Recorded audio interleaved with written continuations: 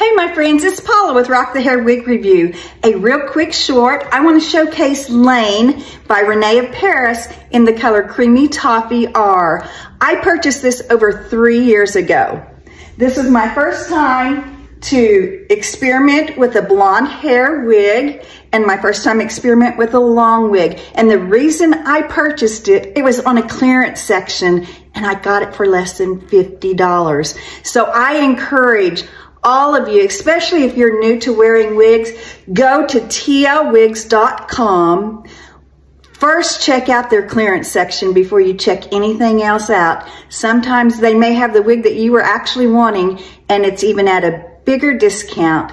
So yeah, I thought for 50 bucks, I'll give it a try. And I'm so glad that I did.